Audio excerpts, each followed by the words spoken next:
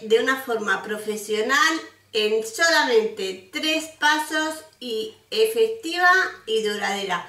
Así es que si quieres saber cómo se formatea un PC, te dejo viendo el tutorial. Hasta ahora. Primer paso, cogemos nuestro ordenador y lo ponemos sobre nuestra mesa de trabajo.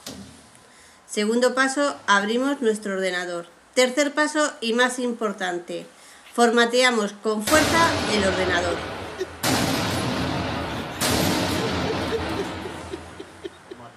Y como veis queda completamente formateado. Espero que os haya gustado el vídeo, que le deis a like, compartáis y nos vemos en un próximo vídeo. Adiós.